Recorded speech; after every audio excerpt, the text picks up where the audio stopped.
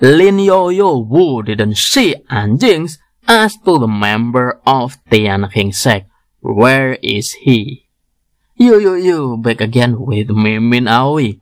It's time for manhwa I Can Do For Everything, chapter 44. Lo Yun Er then asked the Tian King sect disciples, where is Anjing? Wu Mingcha says that he didn't know and thought that Anjing might be dead because he didn't see Anjing since he woke up.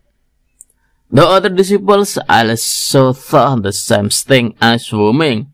Is it really that Anjing is dead? Maybe he has been killed. Even though he has good luck, what's the use of it? In this world, it all depends on its person's strength.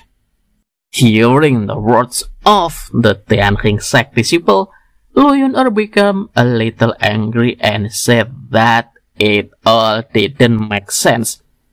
Anjing has very good luck, so it is impossible for him to die young. Lin Yu herself was speechless and just looked at the immortal spirit grace that Anjing gave to her earlier.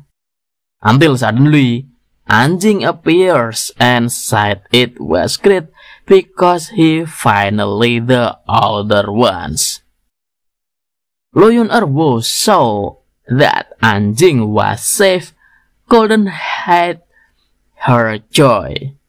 Meanwhile, Muming asked to Anjing where did he go? Because everyone already thought that Anjing was dead. I'm here only because won't ever let me go. I'm here only cause I'm aware with you is better than all alone.